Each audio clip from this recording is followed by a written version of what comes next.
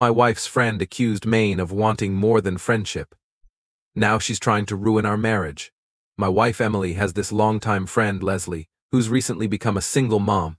Leslie's been struggling no car, working two jobs, and just trying to hold it all together. Emily, being the kind-hearted person she is, took it upon herself to help Leslie out. And since Emily started helping, I've been roped into it too, driving Leslie and her kids around, taking them to school, appointments, groceries basically filling in when Emily or others couldn't. At first, I didn't mind.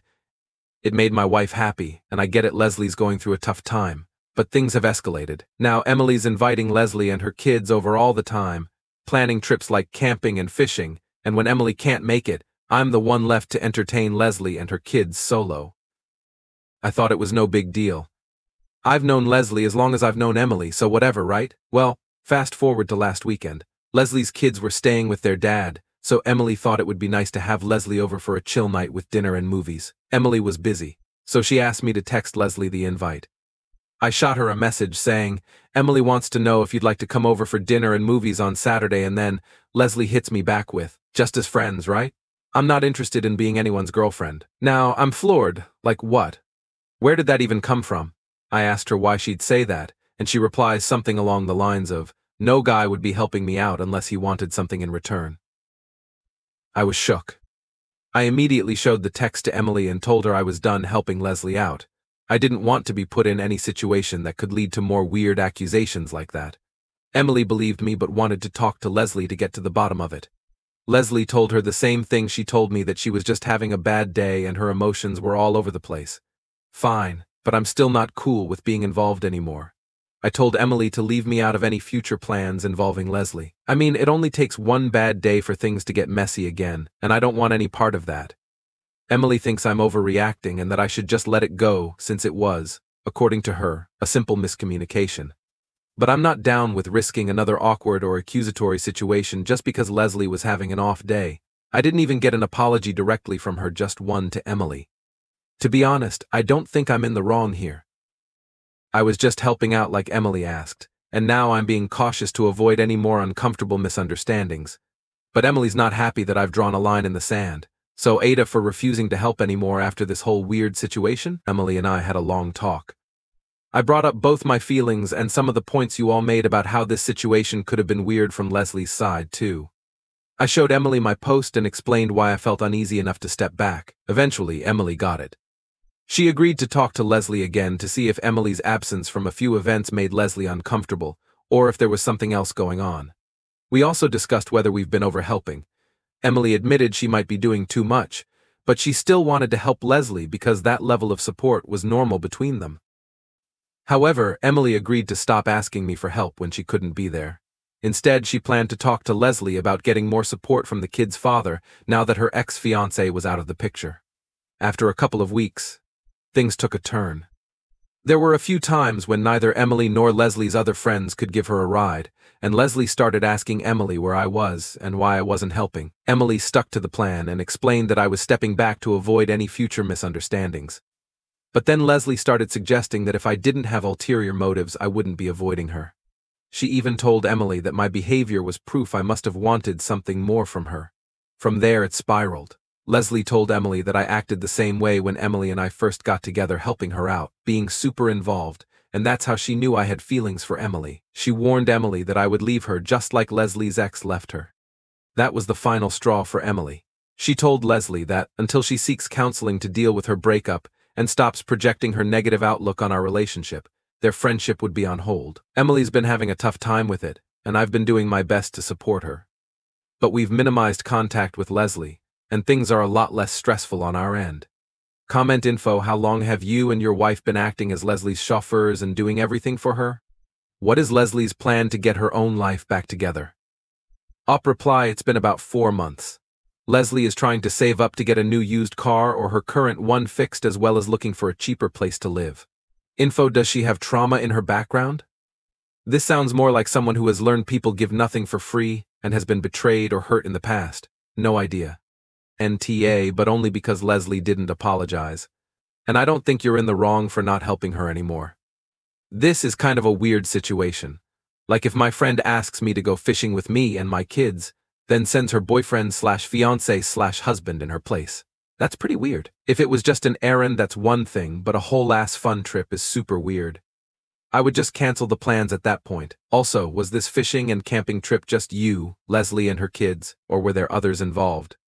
So I can actually kind of get Leslie's side because this time, you directly texted her from your phone right. When your wife sets up these errand slash play dates, I'm guessing she initially says it'll be her. Then shit might come up and so maybe half the time. She then tells Leslie that you're coming. So a direct text to Leslie from you asking to come over for movies kinda does feel pretty off. Also, you say paraphrase here. No guy would be asking me and my kids how we're doing or helping me out unless he wanted something in return. But I'm curious what exactly the text messages say. Op reply my wife made the camping trip. One of the fishing trips when my wife couldn't make it and we knew ahead of time, we discussed canceling. She discussed it with Leslie, and they both decided to go ahead with it. The other time my wife organized us all going to do something together. She was with us for about an hour before she had to leave. I did directly text her from my phone, which I've had to do before. My text read, Emily wants to know if you'd like to come over for dinner and watch some movies on Saturday. I don't know about 100% of the time, but I have heard my wife tell Leslie she'd be sending me in her stead on a number of occasions, so it's not as if Leslie didn't have heads up. Info NTA. Did she apologize to you in addition to Emily? That's what kind of sets it off. She can have an off day and feel like maybe everyone has an ulterior motive and get snappy, but like she needs to apologize to the person she hurt, i.e. you. If you're worried she's going to like, make a move on you and she's done more than this comment that's different too. No, she did not apologize to me. Only to Emily. NTA. I think there is more of a miscommunication between your wife and her friend. When your wife cannot drive or entertain her friend, does she let her friend know you are taking her place or that she volunteered you herself? Or do you just show up? The friend might be confused in this situation. While I understand the single mother's frustration, she needs to figure this out for herself. She cannot nor should she depend on everyone else forever. Also, where are the kids' father in helping in their appointments? I don't know about each and every time, but I have been witness to my wife giving Leslie a heads up I would be showing up instead. Such as one outing Emily planned. I suggested canceling when Emily's schedule changed, but after Emily and Leslie discussed it, they decided to go on ahead without Emily because Leslie's kids were looking forward to it. NTA. But forgive her and move on. People get silly notions, and she's recently been abandoned, right? You've been very nice, and she didn't understand that your wife was directing it. I'm sure she's embarrassed enough, so it would be nice to accept her apology and not withhold your help. Op reply, she knew my wife was directing it, and she did not apologize to me. My girlfriend's controlling dad banned Maine from their house. Now she's finally moved in with me to escape the toxicity. So, I'm 23, and I've been dating this girl for about a year and three months now. When we first started dating, she warned me that her parents, especially her dad, were kind of crazy. At first, I thought she was just exaggerating, but man, was she not joking? In the beginning, everything seemed cool. There weren't any major issues with her family, and she told me they actually liked me. Her dad, though? He's one of those my way or the highway types. He's super strict and controlling, like he has this crazy amount of influence over her. She's got a curfew and staying over at my place. Yeah, that's absolutely out of the question. I mean, I get it. She still lives at home, and I try to respect that, but sometimes it just feels like too much. She's not even allowed to come with me on weekend trips with my family, even though her parents are invited to come too. There was this one time, though, when he said yes to her joining us on a camping trip. But boy, did that go south fast. So, we're out there, just about to fall asleep, when she gets a text from her mom saying to call her immediately. The cell service where we were camping was spotty, so we had to rush out to the road to get enough signal to make the call. When she finally reaches her mom, we find out that she's already on her way to pick her up, like we'd literally driven past her mom on the road and didn't even realize it was her. Apparently, her dad decided he didn't want her to stay on the trip after all. No reason, he just changed his mind and sent her mom five hours out to get her. Of course, at first we thought something terrible had happened. I mean, why else would someone drive all that way in the middle of the night? Turns out nothing was wrong, he just regretted letting her come. So, we stand there for two hours while her mom lays into me, criticizing me for things as dumb as the kind of music I listen to. And let me remind you, her parents were invited on this trip, but they chose not to come. They ended up staying the night with us, but her mom left before the sun was even up because she didn't want to be seen. When my girlfriend got home that weekend, her mom was in trouble with her dad for going to get her. You know, because that would have made him look bad for going back on his word. And my girlfriend? She was in trouble too for not listening to her mom. It's nuts, right? And that's not even the worst part. But now her mom's always been pretty nice to me. She's made me coffee, sent me home with leftovers, it's been chill. Her dad, on the other hand, has been polite to my face but always seems to have something to say behind my back, like he'll complain to her about random stuff, like the car I drive. It's not a Toyota, so apparently that's a problem? Seriously? So family day comes around and I invite her parents to go ATVing with my family at my dad's place. I've invited them before, but this time they actually agree to come. But the morning of, her dad suddenly decides he doesn't feel well and backs out, which was fine, I wasn't going to pressure him. He tells her mom she can still go though, so she packs up the ATVs, loads the truck, and gets ready to head out. Then, right as they're about to leave, her dad starts telling her mom that it's not a good idea for her to go because she's never towed that specific trailer with that truck before. Keep in mind, she's been driving big trucks and trailers for over 30 years. They used to own a landscaping company together. But of course, she starts second guessing herself and ends up bailing on the trip. Even though she decided not to tow the trailer, she still came up to join us, and we had an awesome day.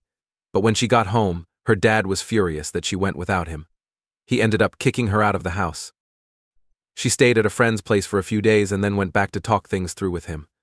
That's when my girlfriend overheard them talking about me well, more like him yelling at her mom. He was accusing her mom of emotionally cheating on him with me because of how nice she's been to me. You know, like making me coffee or sending me home with leftovers. Apparently, that's a big issue because, in his eyes, I haven't put in the work yet. Whatever that even means. It's gotten to the point where he's basically mentally abusing everyone. He's playing these mind games, trying to get them to do whatever he wants. Nobody's allowed to have their own opinions or make their own decisions. Recently, he told me I'm not welcome at their house anymore, which sucks because my girlfriend and I live about an hour apart. In the past, he complained that I didn't come around enough. And now he's banning me for no real reason just because her mom's been nice to me. It's not even just that. Her parents don't even sleep in the same bed anymore. One night, her mom tried sleeping in the bed I usually sleep in when I stay over, and her dad lost it. He accused her of only sleeping there because I did. He got so mad he punched a hole in the door while she was trying to sleep. When they listen to him and do exactly what he says, everything's fine. But the second they go against him, it's like the whole world falls apart. There have been so many situations like this over the years. My girlfriend's mom has been kicked out of the house so many times, all for reasons as petty as this. Everyone tells her she should leave him me, my family, her family, even her boss. She called a women's shelter once, and they told her to leave too. But she won't. I've given up trying to convince her. Recently, her mom booked a trip for her and my girlfriend to go to England to visit her own mother, who's battling cancer. She hasn't seen her in over 10 years. But after the whole family day situation, her dad made her cancel the trip. He told her that if she went, it would mean she didn't love him. And so she canceled it. My girlfriend was devastated. I mean, she's heartbroken over it. There's honestly so much more to this. But that's just the tip of the iceberg. My girlfriend and I are okay, but her dad's constant manipulation keeps sucking her back in. He makes her feel like a terrible daughter, and he constantly tells her mom she's stupid for letting her date me. I recently told her she could move in with me to get away from all this, but she seems hesitant to leave her parents behind. I get it, it's her family, but at the same time, I'm not sure how much longer I can deal with all of this. I don't want to be the guy who walks away from a relationship because of her parents, but I can't see a future where I'm constantly dealing with this level of drama. It's not just about me anymore. I can't imagine bringing future kids into this situation, constantly worrying about her family's next blow up. So, I sat her down and told her how I've been feeling. I explained how much her family's drama stresses me out, and how I don't see a happy future for us if things don't change. I love her. But I also need to protect myself. She was upset, of course. She reminded me that I'd promised not to leave her because of her parents, and the guilt hit me hard. But I told her that I'm not just thinking about us anymore. I don't want to bring future kids into this kind of toxic environment. My days shouldn't be spent worrying about what her parents are going to do next. Something must have clicked for her because she finally asked if the offer to move in was still on the table. I told her it was, of course. And she said she couldn't bear the thought of losing me over her parents. She didn't want to keep going backward, so she packed up her things and moved in with me. She told her dad off before leaving, and now we're unpacking her stuff and settling in together. She's agreed to limit contact with her parents, and make sure that any relationship she has with them won't involve me unless we both agree. And honestly, I think this is a huge step for us. I finally feel like we've got a shot at a real future together. Relevant comments. Commenter NTA. Her father is a problem, not her or you. He's also not going to change, but she's not ready to leave home yet because it's very hard to leave an abusive situation even if you are an adult. Op reply she has shared that fear with me before. That she's afraid everything will crumble if she's not there and that her mom will bear the brunt of the fallout. I think she once described it as being afraid her mom will be punished for her gaining her freedom commenter perhaps your GF is scared to leave her mom alone with him? Does your GF have any siblings? The dad seems a massive bully and mum is copying his awful behavior in a bid to appease him. There's nothing you can do to fix or change this situation for your GF or her mum without them first taking steps to leave this horrid man. You can either suck up the difficult situation, or perhaps end it but say that if they she ever want to change their circumstances you will help them any way you can. Op reply she's an only child. I think she feels bad leaving her mum behind, or like feels obligated to stay with her family. I was asked to bring an extra gift for my son's friend's brother. Now the parents are calling us out for cheaping out. I've got three kids an eight year old son, a five year old son, and a one year old daughter. My younger son is friends with a kid from his class. Let's call him Mikey. Mikey's got an older brother, James, who's in the same class as my older son. Thing is, my son and James aren't friends, they just don't hang out like that. Anyway, back in March, James got sick with the flu, and his birthday party got cancelled. Mikey's mom put this message in the class mom group chat, but we didn't really pay attention to it because well, my older son wasn't even invited to that party in the first place. Like I didn't even know the kid's birthday was coming up, let alone that he had a party planned. No biggie, right? Fast forward to now. My younger son just got an invite to Mikey's birthday party, which is set for early June. Cool, my son's excited, we're all good. But here's where it gets weird. On the invitation, there's this little note saying, oh, by the way, please bring an extra gift for James, because he missed out on his party. Wait, what? My wife and I were both like, huh? Why are we being asked to buy a gift for James? I mean, my son's not even friends with him, and we weren't invited to that cancelled party. Plus, it's Mikey's birthday, so it feels kinda weird to be showing up with a gift for his brother, too. We decided to ask Mikey's parents what's up with this, and they hit us with the explanation well, since James couldn't have his friends over for his birthday, we thought this would be a good opportunity for them to still give him gifts. I mean, seriously? We were just kind of stunned. Like, is that even fair to Mikey? It's his day, but now he has to share the spotlight with his brother who's basically crashing his party for some belated birthday presents.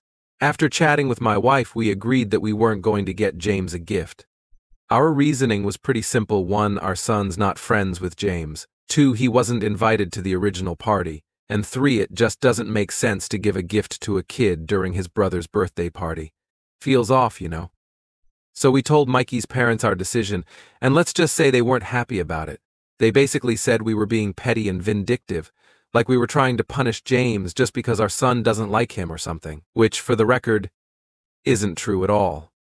It's not like my son dislikes James, they just aren't buddies. Then, things got even more heated. Mikey's mom came back with a threat to uninvite my younger son from the party if we didn't reconsider. His dad wasn't as harsh about it, but he still thought we were making the wrong call. Now, my wife and I are stuck.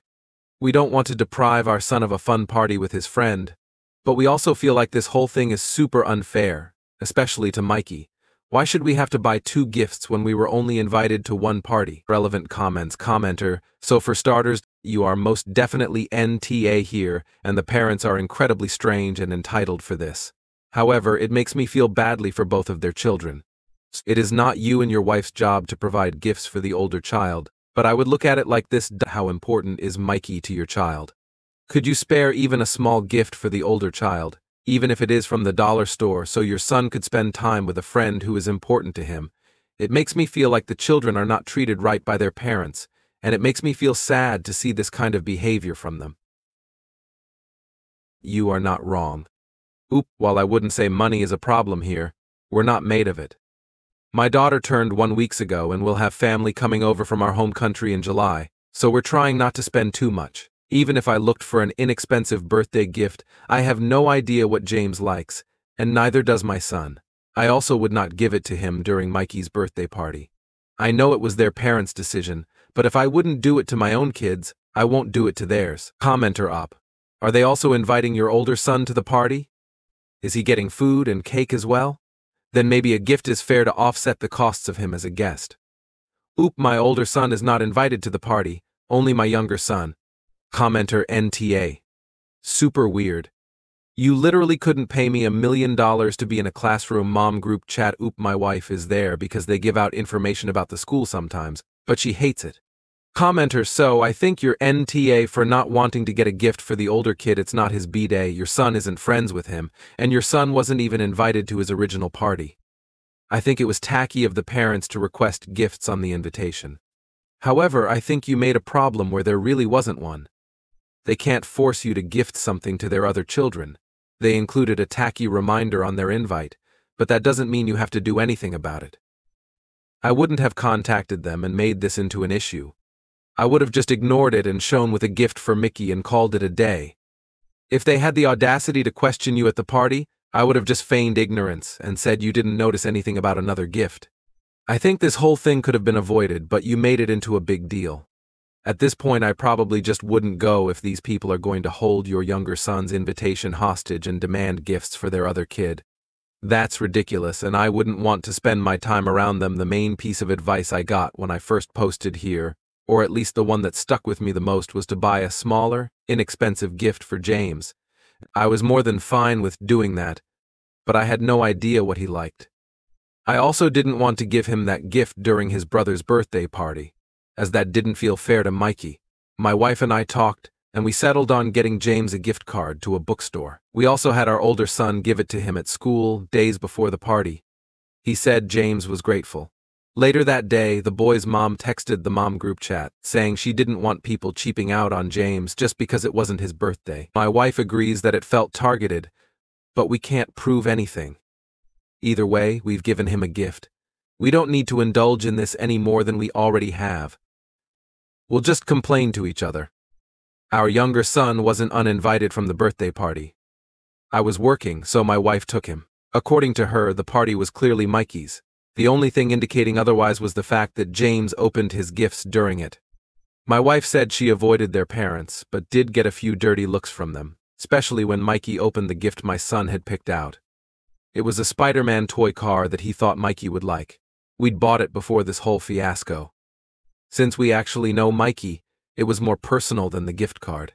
I still don't understand a single decision the boy's parents made, but I'm glad my son's friendship is intact. I just hope my wife and I don't need to interact with that family too much in the future. Relevant comments. Commenter I can't believe you actually gave a gift and went to the party. This is ridiculous and disgusting that they would even write on the invite to bring the sibling a gift. I would have not went and kept my family away from that shit storm. Oop, we didn't want to upset our son. He wanted to go to the party, so we let him. Whatever problems we had with James and Mikey's parents are none of his concern. Commenter I know people recommended that at the behest of the children, but it feels like you've just taught their parents that the behavior was okay. Why wouldn't the kids who were going to go to the other boy's party not go to this new one? Why didn't they just throw a combined birthday for both of them, where each friend brought a gift for the person they were going to originally? Also, the entire message of don't cheapen out would have had me cancel going altogether. Now, neither of their children get a gift, and they get to miss out on my kid at their party. I'll take my kid out somewhere fun with the money we would have wasted on their brats. Oop, as much as I don't regret getting James a gift, I'm very upset at his parents. The kids didn't deserve any of this. My ex-wife left me when I was paralyzed, took my kids, and spread lies. Now, 12 years later, my kids are finally moving in with me. I'm Jason, 47, and I need to vent and get some advice. This whole thing started 12 years ago when I was married to Susan, my first wife. We had been together for seven years and had two kids, Laura and Lucas, who were five and three at the time. Everything was pretty normal until one day, everything went sideways. So, one morning I was driving to work when this speeding car came out of nowhere and smashed into mine. Next thing I know, I wake up in a hospital bed, all bandaged up. The nurse told me I'd been out for two days. I was grateful to be alive, but that was just the beginning of a nightmare. After a week, the doctor hit me with the news I was paralyzed from the waist down and might never walk again. I was shattered. Susan was a wreck too, trying to juggle everything at home with the kids. I fell into a deep depression, stuck in that hospital room, feeling like my life was over. I was heartbroken about not being able to play soccer with my kids or dance with my wife. To make things worse, Susan started visiting less and less. At first, she brought the kids a few times a week, but then those visits became rare. I begged her to bring them around more, but she kept saying they didn't want to see me. Then one day she shows up with divorce papers saying she couldn't live with a disabled man and deserved better. I had a feeling it was coming, but it still hit hard. A few friends told me Susan was seen around town with this middle-aged dude, and rumors were flying that she had an affair either before or right after my accident. It was only two months after the crash, and I was still in the hospital when she handed me the papers. I was crushed, angry, and totally lost. I was wheelchair-bound, broke, and had just lost my family. My savings were gone, used up for bills and the kids' education. Thankfully, insurance covered some of the hospital costs, but I was left with nothing. I was living with my elderly mother, who was struggling to support both of us. It was humiliating, being a 35-year-old man relying on his 62-year-old mother. When I tried to see my kids, Susan had already moved in with her new boyfriend, a wealthy guy with a history of failed marriages. She wouldn't let me see my kids and threatened me with a restraining order if I tried. I was devastated. She told me I was a burden, and that I should just go away. I was heartbroken and humiliated, but my mom was my rock. She helped me get through it, and motivated me to turn my life around. I joined her flower shop, and over time I saw its potential. I reached out to old contacts, secured some event contracts, and eventually started my own event management business. It took 12 long years, but I rebuilt my life. I never gave up, thanks to my mom's support. Last year I found out Susan and her boyfriend were leaving the city with my kids. I tried to see them, but they were already gone. I had been trying to contact them for years, but Susan always pushed me away and used her boyfriend's wealth and connections to keep me at bay. Even though I couldn't challenge her decisions or afford a lawyer, I kept fighting. Finally, I managed to get joint custody and will have my kids, Laura and Lucas, for 15 days. They're now 17 and 15, and I'm both nervous and excited to see them. I know I can't make up for the lost years, but I want to make the most of the time we have together. I'm worried about what they've been told about me, and whether I should share my side of the story. Any advice on how to approach them or handle this situation would be much appreciated. I'm just trying to figure out how to navigate this and reconnect with my kids after all this time. I missed two critical pieces of information in my original post first about my current wife, Amy. Yes, I remarried a beautiful woman five years ago. Amy is an interior designer. I met her at an event where she was designing the wedding venue, and we were providing the flowers. I was yet to start my own company at that time. It wasn't love at first sight, but we vibed well. We kept meeting for such events in the next few months and became friends. She was a single mother of a three-year-old daughter. The idea of starting the event management company was hers because she worked for one of the companies for many years and had the contacts and knowledge of the business. I partnered with her to launch the business. We dated for a year before getting married. Now we live as a happy family of four, Amy, her daughter Mia, my mother and I. Her daughter was delighted to get a granny, and so was my mother. The second information was regarding accident compensation. I was hit by a speeding truck, so ideally I should have been compensated by the logistics company owning the truck. But at that time, the company got away with paying nothing by manipulating the facts about the accident and pinning the blame on me. I could not hire a good lawyer back then, so I didn't get a penny. You know how big companies work. They pay in bombs to their attorneys to save their backs. After my marriage with Amy, she suggested I refile the case since we could afford a suitable lawyer.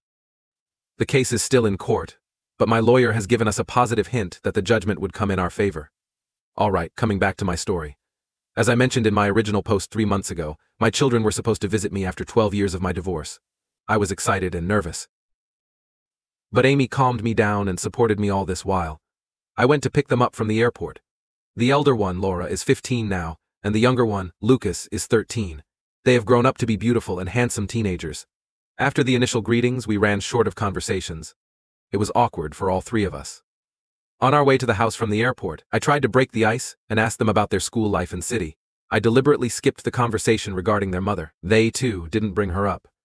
The children were unusually silent, or maybe looking for an opportunity to plug into their earphones, like any other teenager. Upon reaching home, we were welcomed by Amy. The children looked shocked as if they didn't anticipate this coming. I don't know why Amy was a surprise to them. When her mother could live with another man within months of our divorce, why can't I remarry? Amy had set up the guest room for the children. We had lunch together, and Amy laid out the vacation itinerary we had planned for the family. They gave a neutral reaction to everything. Neither were they excited nor did they dismiss the plan. Amy and I were confused by their mixed response. They locked themselves up in their room, and soon after that I got a call from their mother, Susan, accusing me of tricking our children. She said I'd brought the children to my house so Amy and I could manipulate them. I felt disoriented by her behavior. She accused me of hiding the truth about my marriage, I wondered at her accusations. I hung up on her, but she persistently called me. I decided to address the elephant in the room. I called my children and asked them what was the matter. After the initial hesitance, they spoke up. They were mad at me because it was said to them that I had abandoned them.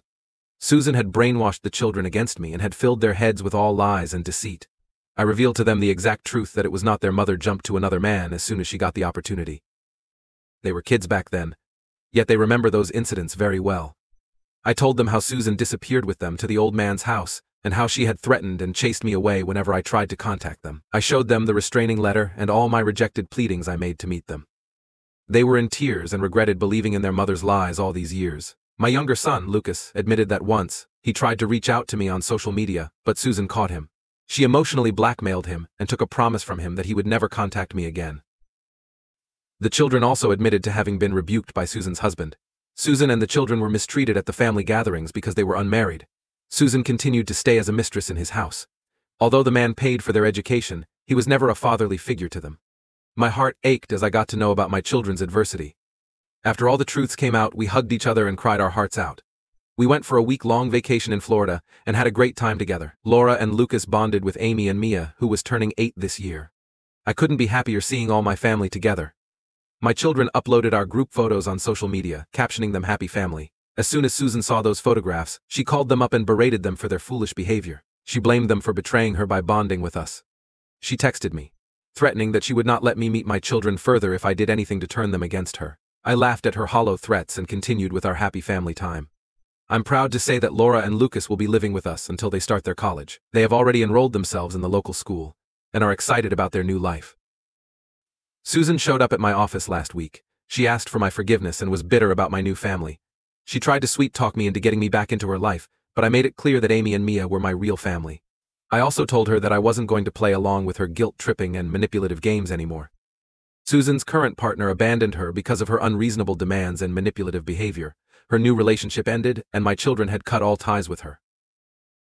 Thanks for watching till the end. Wishing you an awesome day.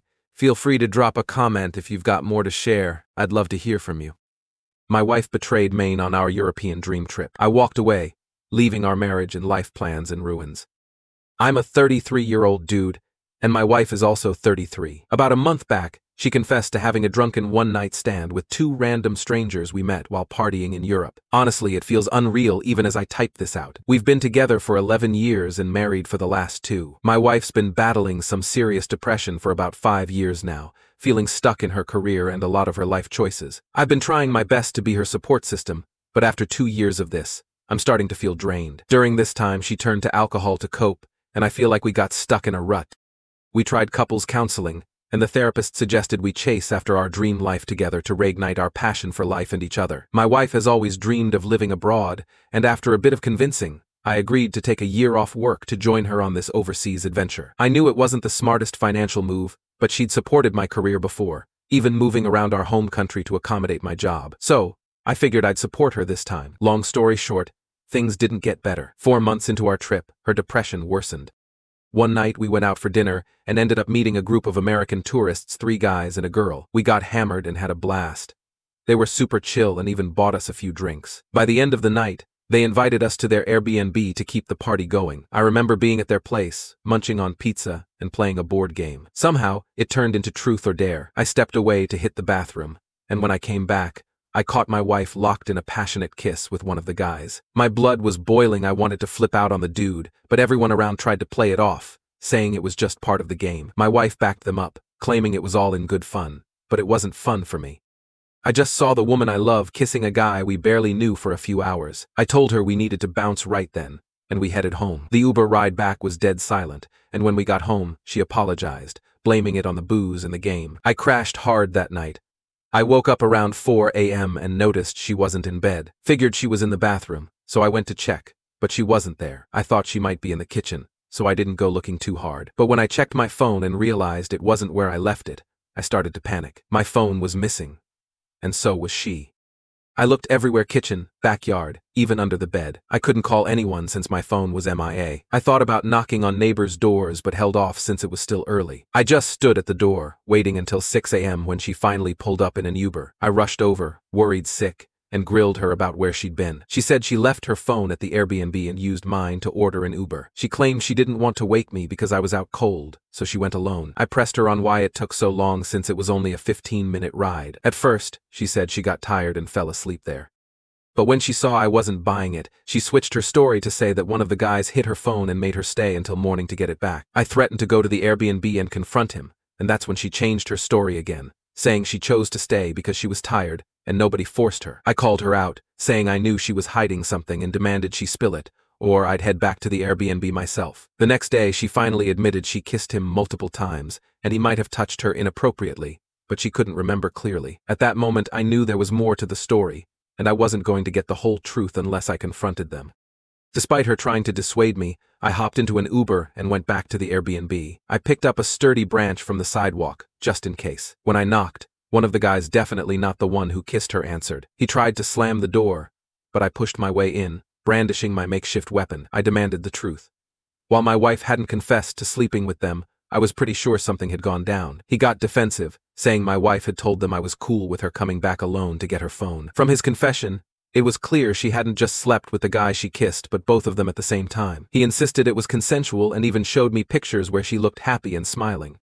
I went home fuming and confronted her again. This time she spilled it all, Apparently, she left her phone behind as an excuse to go back and continue the party. When she got there, instead of leaving, she got into it again with the same guy, and then the other guy joined in. They took her to the bedroom and took turns with her. The third guy and the girl were in a relationship, so they didn't participate in any of that craziness. She kept saying sorry, blaming it on the alcohol again, but I reminded her that she couldn't use that excuse twice. I was in a tough spot financially, having taken a year off work mainly for her career. I felt completely blindsided. We've always had a happy, healthy relationship, supporting each other through everything, usually with smiles.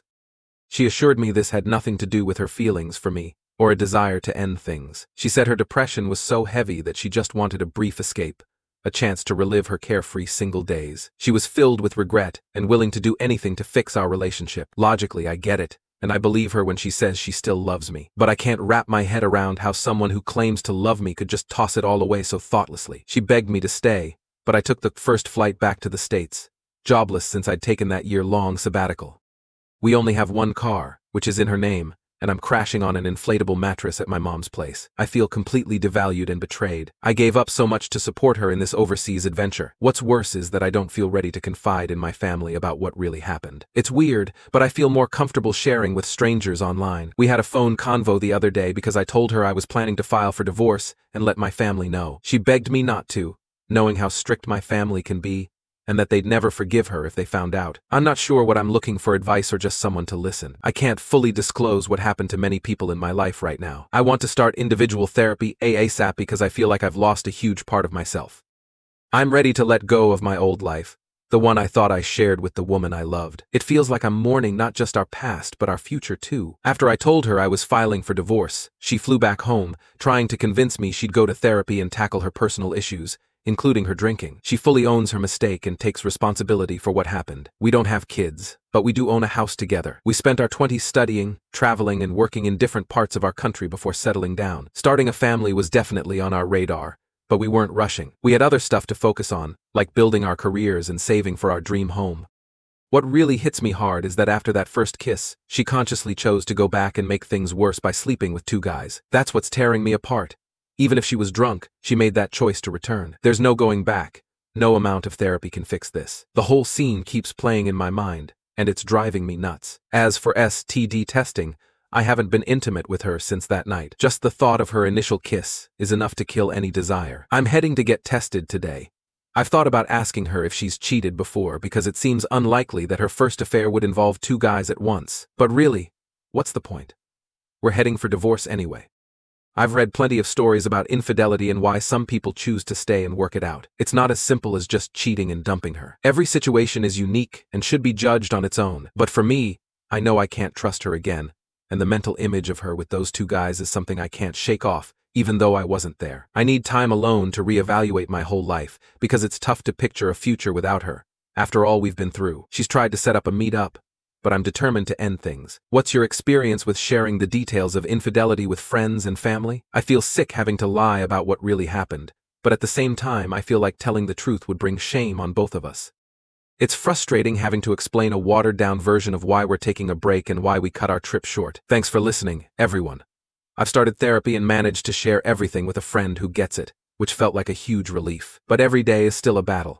Nothing seems to distract me, and sleep has become elusive. I end up crashing from exhaustion rather than actually getting a good night's sleep. Being back at my mom's feels like going back to my childhood. I know I need time to process all of this, but these first few days are just brutal. My cheating wife of 23 years begged for forgiveness after her boyfriend dumped her, but I refused to take her back and found my strength.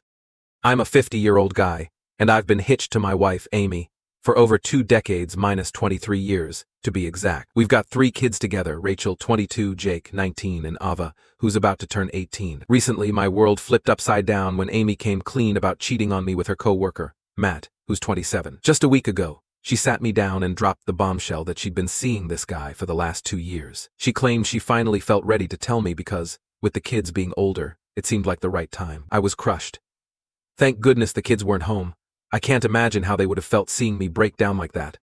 Rachel had moved out for work, Jake was at college, and Ava was out with friends that day, which I guess is why Amy chose that moment to spill the beans. While I was sobbing, begging her to reconsider and give our marriage another shot, she kept saying she couldn't stay in a loveless marriage anymore. It felt like my entire life was crumbling right in front of me. After half an hour of tears, I finally got my act together and told her to leave. She looked shocked that I flipped from begging her to asking her to pack up and bounce, but honestly, I couldn't handle her anymore. She grabbed a few things from her duffel bag, which made me think she'd been planning this for a while. After a stiff side hug, she walked out, and I was left feeling like a wreck.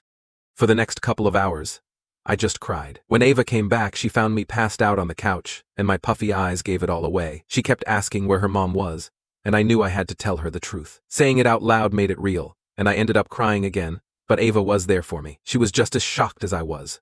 Ava ended up making calls to get Rachel and Jake back home, and even reached out to my brother Eric. He's a solid guy, 45, still single, and has always been my rock. He showed up a few hours later, ready to help out. It's been a week, and he's still here, along with the kids, trying to navigate this mess together. It still feels surreal, like I'm stuck in a nightmare.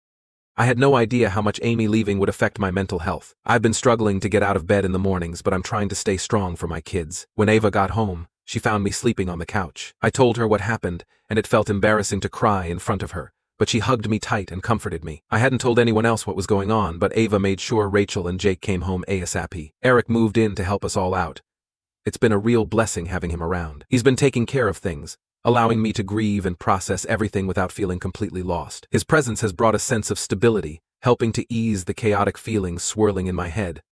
On the legal side of things, I've talked to my lawyer about divorce. I haven't filed yet because I was waiting for Amy to serve me, but I found out why she hasn't done it yet. Last night, she called me out of the blue. I was shocked since we hadn't talked since she left. She sounded upset, crying about how Matt dumped her too. Apparently, he wasn't ready to settle down and told her straight up that he just wanted to have fun. Amy was sobbing on the phone, realizing she had nowhere to go. She admitted our kids weren't talking to her anymore, and that she'd been living in a hotel since she left. She finally called me to ask if she could move back in and give our marriage another chance. I was floored how could she even ask me that after what she did.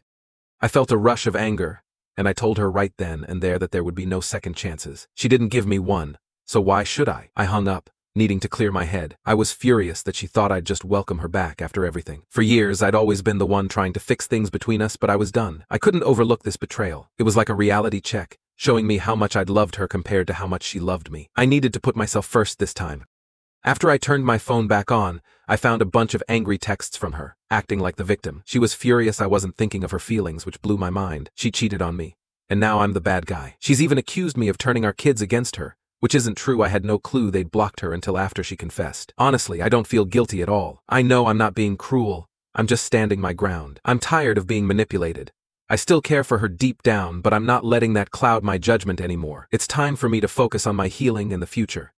It's been a couple of days since Amy's been blowing up my phone, trying to convince me to take her back. She's pulled out all the stops guilt trips, gaslighting you name it. She keeps apologizing, claiming she made a huge mistake with the whole affair and promises she'll do everything to make it up to me. But I just don't get why she thinks I'd even consider taking her back after everything. This isn't some petty argument. This is a complete betrayal, and she still doesn't grasp how monumental that is for me. Honestly, I doubt she ever will.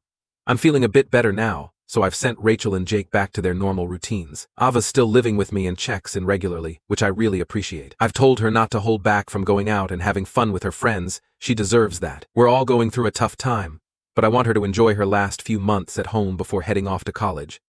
My brother Eric is still around, and I'm super thankful for his support. I've talked about the emotional fallout of Amy's actions, but the practical side of things has also taken a hit. With Amy gone, we've had to pick up her share of the chores, which feels petty, but is a constant reminder of her absence. She used to handle all the laundry, said she enjoyed it, but now it's on me and Eric since Ava's busy living her life. Eric's been a godsend, helping me out while I process everything. He's not overly emotional, but his presence has been exactly what I needed. I know he'll have to go back to his life eventually, but I'm really lucky he's here now. On the legal front, my lawyer and I have already filed for divorce. We got the ball rolling yesterday, especially since Amy's been in limbo, not filing herself because she thought she could come back. She'll be served in a couple of days, and then the real battle begins. Just thinking about it is exhausting, and I can't even imagine how much more draining it'll be once it's all underway. I never thought I'd find myself in this situation, but here we are.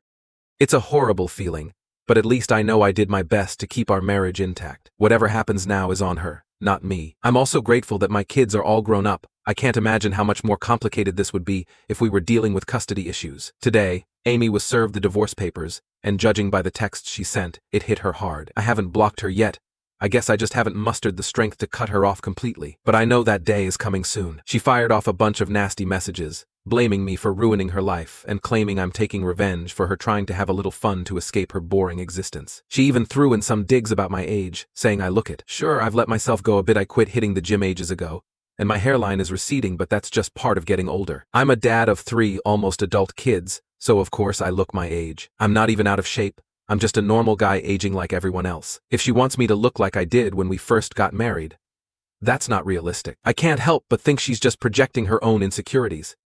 It's pathetic how she's still trying to shift the blame onto me, acting like her cheating was somehow justified, and that I should have been the one to fix myself. But I guess that's just who she is. Now, I'm finally recognizing all the red flags I ignored for over 20 years because I loved her. And yeah, I still feel a flicker of that love deep down, which is embarrassing to admit, but it's the truth. That's what's kept me from blocking her completely. I'm just hoping I find the strength to do it soon because I can't deal with this side of her anymore. I wouldn't call it her evil side. It's more like a cruel comedy at this point. The way she's handling this situation is just absurd. Ironically, Amy's been having drama with Matt. Apparently, she posted a rant online about how he strung her along for two years and then dumped her because he didn't see a future with her. It's wild to think she left everything behind for this guy without even talking to him first. Now, she's getting roasted online, and I'm not even mad about it.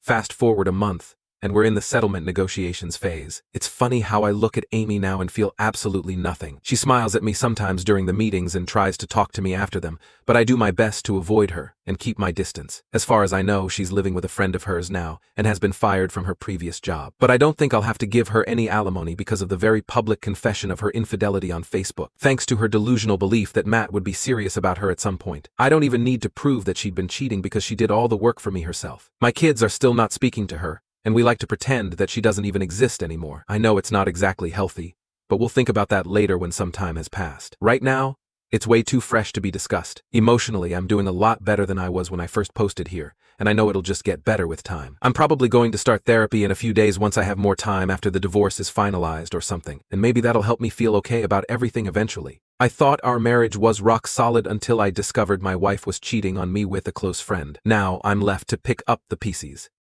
We've been married since we were 19, and next year marks our 25th anniversary. We have three daughters, a 19-year-old in college and twin 15-year-olds. Life at home seemed pretty normal, or so I thought, but lately, something has felt off. My wife has always had her own job and interests like yoga and pottery, which I respect. I've got my own hobbies too, but over the past few months there's been an underlying tension. Sometimes she seems distant, even during intimate moments. We still have our regular weekend morning lovemaking, but it feels like her mind is somewhere else. It's frustrating because I can't quite put my finger on what's wrong. I've asked her if something is bothering her, but every time she assures me everything is fine. I wouldn't immediately suspect infidelity, but I've noticed she's been spending more time outside the house lately, maybe for the last six months. She's been busy, but she used to be so upbeat, energetic, and almost giddy. About three weeks ago, everything shifted. Suddenly she started hanging around the house more often, but she seemed distant. She'd come to my office to chat, but she had this sad look in her eyes, like she was carrying some heavy burden. It's like she wants to be near me, which I appreciate, but her behavior worries me. Even weirder, our twins are acting strange too. They've been unusually sweet, offering to help with chores like taking out the trash definitely not their usual behavior. It's as if they know something I don't, like I'm missing a crucial piece of the puzzle. Their odd yet affectionate behavior started a few weeks ago, around the same time my wife's behavior changed.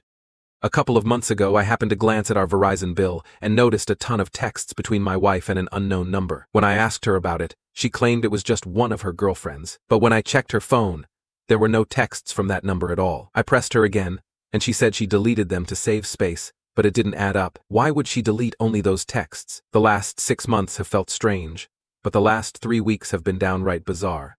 Yesterday, I made the decision to call my oldest daughter. I shared everything I mentioned here, and she assured me she would talk to the twins. The twins really look up to her, and they tend to be a bit scared when she gets mad. This morning she called me back and said she had spoken to the twins. She's coming home this Friday for the weekend, so we can have a proper conversation. I told her I can't handle being left hanging like this, it's too much for my heart to bear. I pleaded with her to tell me what's going on. She mentioned that it's bad but could have been worse. She reassured me not to worry and explained that Friday is the earliest she can come home to talk. She did mention that there's some good news amidst the bad. However, the twins made her promise to keep it a secret. It's important to note that my wife and the twins are unaware that our oldest daughter is coming home this weekend, and she explicitly told me not to inform them. She was very firm about that.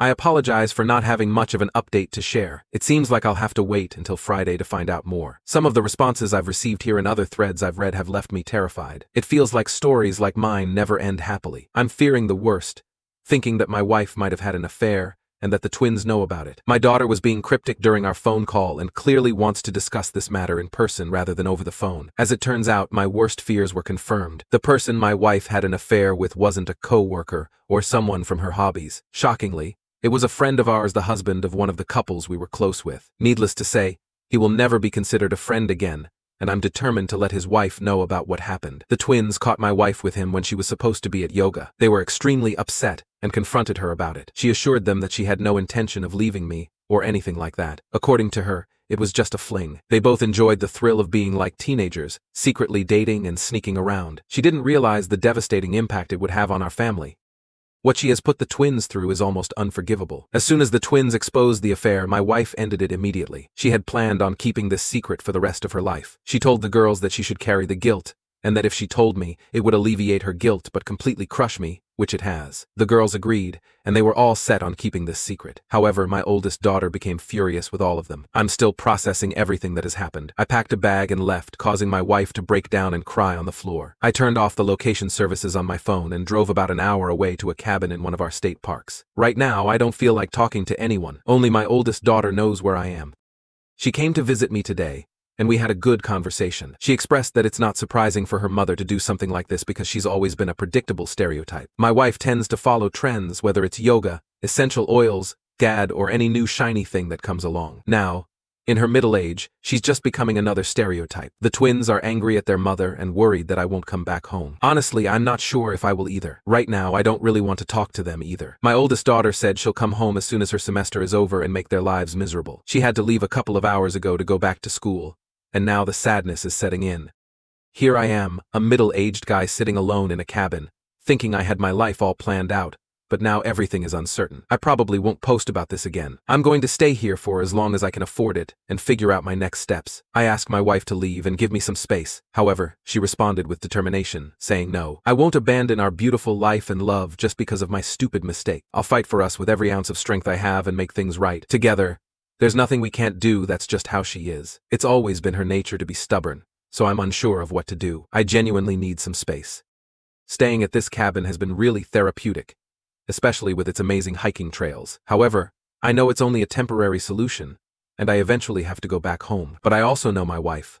With the way she expressed herself, it would take an act of God to make her leave. On top of that, she won't give me the space I need. If I go back home, She'll overwhelm me with her love and incessantly try to wear me down until I go along with whatever plan she has in mind. Frankly, I'd rather stay away for a while. I need to be mentally prepared to withstand her onslaught of affection and rationalization, because she's an expert in that. She's always reading those self-help and motivational books and browsing websites filled with that kind of stuff. I made sure to pay for the cabin in cash for a week so that my wife wouldn't be able to track me down if I used a credit card. I already received emails notifying me that someone used a different device to access my credit card accounts, both of them. It's definitely her. I knew if I paid with a credit card, she would look it up and try to find me.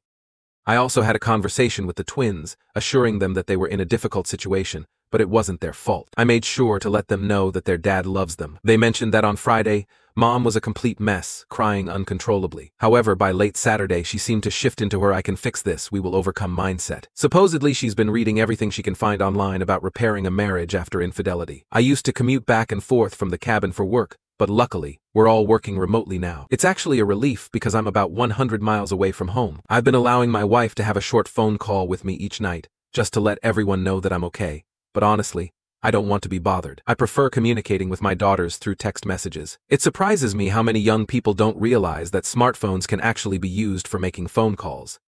If I want to hold on to my pride, then I have to divorce her because her actions have been a serious betrayal of our marriage. But if I choose to stay in the marriage, it means surrendering my pride as a man. And I don't think I can live like that. I don't even want to have a discussion with my wife about this because she has a way of twisting things around and making me agree with her logic within an hour. Unfortunately, my time at the cabin is coming to an end. I've been trying to find an apartment to rent, but it's tougher than I expected due to the ongoing virus situation. I told my wife that there's no way for me to stay with her and still maintain my dignity. I explained that if I stayed, I wouldn't be the man she claimed to love. It would just make me feel broken and resentful, lacking any sense of dignity. I made it clear that we can't continue living like that. She responded by saying we can work things out and that I'm the only man she loves. I replied that obviously, our marriage isn't great if she did what she did. After a conversation, we both agreed that it's time to go our separate ways. I also spoke with my heartbroken twins, assuring them that I love them and will always be there for them. After deep reflection, I've realized that I can't stay with someone who betrayed me in such a way. My self-respect and dignity are important to me, and I would lose both if I stayed in the relationship. My best friend stole my girlfriend after I helped him now they're together, but I'm glad to be free from their toxic drama. I'm a 33 year old guy, let's call me Jake. My so called best friend, we'll name him Mike, is also 33. Mike and I had been inseparable since high school. We met in homeroom on the first day and clicked instantly. We were like brothers, sharing everything from our deepest secrets to our wildest dreams. There was nothing we hid from each other our dating lives, our fears, our failures. He was the one person I trusted completely. Despite our close bond, I always hesitated to introduce Mike to any women I was interested in. His dating history was, to put it mildly, a train wreck. He'd had four ex-girlfriends, two of whom cheated on him one was sleeping with multiple men, and the other was two-timing him for a year. He cheated on his third girlfriend to be with his fourth. On top of that, he frequently visited prostitutes. Mike came from a wealthy family, his mother was well off, and he'd never worked a day in his life. Money was never an issue for him. On the other hand, I had always been cautious in matters of the heart. Until I met Emma, I'd never been in a relationship. At 33, I was a virgin who had never even held a woman's hand. That all changed on January 13, 2019, when I matched with Emma on a dating app. She was 26, vibrant, and full of life. From our first date, I was smitten. The first two years with Emma were like a dream. We traveled together, exploring new places and creating memories that I thought would last a lifetime. We often hung out with Mike and his girlfriend at the time. It felt like everything was falling into place. But when the pandemic hit, Mike's girlfriend broke up with him and moved back to China suddenly. It was just the three of us. We started spending more time together playing video games, watching movies, just hanging out. When restaurants reopened, we'd go out to eat. Sometimes, Mike would take Emma out for dinner on his own. I didn't think much of it. She lived close to his favorite restaurants, and he was my best friend. I trusted both of them implicitly. But as their outings became more frequent, a gnawing feeling started to eat at me. Emma would come home later and later, always with some excuse or another. She'd send me pictures of the food they ate, assuring me it was just dinner. I tried to push aside my doubts, reminding myself that Mike was like a brother to me. In January 2021, I began helping Emma's family renovate a new house they had purchased. I was working two days a week at my job, spending the other five days on the renovation. It was exhausting but fulfilling work. One day, while tossing out wooden planks, I slipped and broke my wrist. The injury required surgery, and I found myself more dependent on Emma than ever.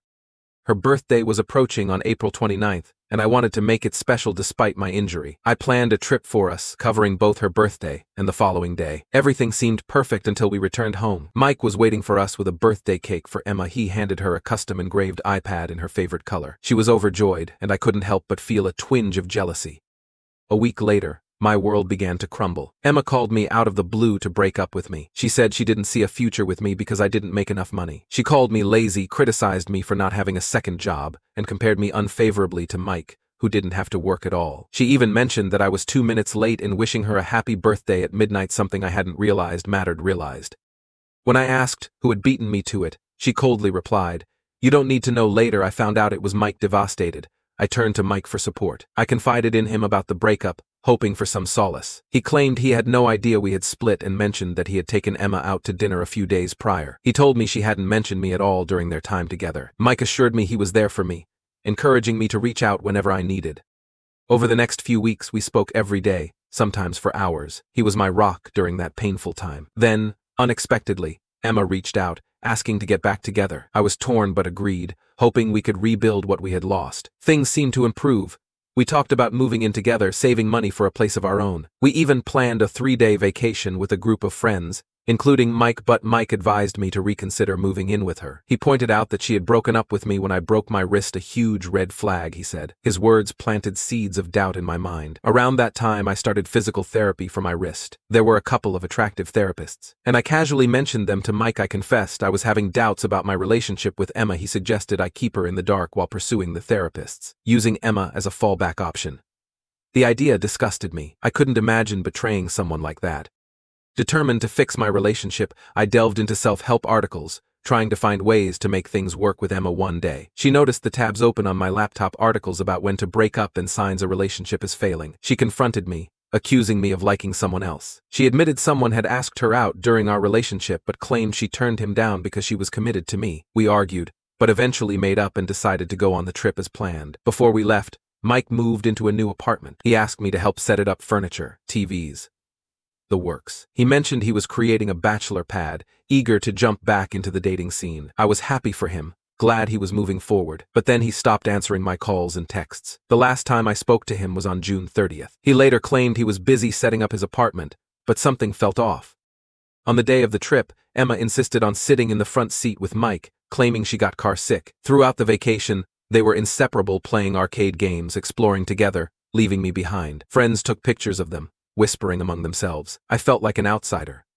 After we returned, things with Emma grew colder. She was distant, often unresponsive to my messages. On my birthday, she barely acknowledged me, leaving halfway through the day. That night was the last time I saw her. We had an argument over the phone a few days later. Frustrated and hurt, I said things I shouldn't have. She hung up on me, and we didn't speak again. Weeks passed, and I heard nothing from either of them. Then, on August 28th, a mutual friend called me. He said Mike had announced that he and Emma were officially dating and living together. Mike had asked him to keep it a secret from me, but our friend thought I deserved to know. My heart shattered. I felt betrayed in the deepest sense. That night, Mike finally called me. He admitted everything, saying he couldn't help himself. He claimed Emma was his soulmate, that being with her made him feel alive. He showed no remorse, even suggesting I should be happy for them. I asked him how he could do this to me, reminding him of all the times we'd shared, the trust we'd built over two decades. He dismissed my feelings, saying I'd get over it, and that there were plenty of other women out there. In that moment, I realized the depth of his betrayal. Not only had he stolen the woman I loved, but he had also shattered our lifelong friendship. I felt utterly alone. In the weeks that followed, I spiraled into a dark place. I reached out to Emma's father, hoping for some closure, but he never responded. Emma had blocked me on all platforms, cutting me off completely. I couldn't sleep, haunted by nightmares of them together. My chest ached with a pain I couldn't describe. To make matters worse, my mother, who had been battling stage 4 lung cancer, was told her treatments were no longer effective. She was placed in hospice care. The weight of losing her, combined with the betrayal of the two people I trusted most, was unbearable. Desperate for answers, I began researching personality disorders, trying to make sense of their actions. I came to believe that Mike was a sociopath and a narcissist, and that Emma shared similar traits. It didn't excuse what they did, but it helped me understand that their betrayal was a reflection of their own brokenness, not mine. Months later, I reconnected with Lisa, one of Mike's ex-girlfriends. She revealed that Mike had been living a double life, dating multiple women simultaneously, lying to everyone. Together, we confronted his father, who was devastated to learn the truth about his son. The more I uncovered, the more I realized how toxic Mike had always been. He wasn't the friend I thought he was. He was a manipulator, using people for his own gain. Over time, the pain began to lessen. I focused on healing, diving into self-improvement books, therapy, and new hobbies. I learned to value myself, to set boundaries, and to recognize red flags in others. I won't pretend that everything is perfect now. There are days when the memories resurface, and the hurt feels fresh again. But I've come to accept that some people aren't meant to stay in our lives, and sometimes, the hardest lessons. The hardest lessons are the most valuable. I lost my first love and my best friend, but I found myself. Thanks for watching till the end. Wishing you an awesome day. Feel free to drop a comment if you've got more to share. I'd love to hear from you.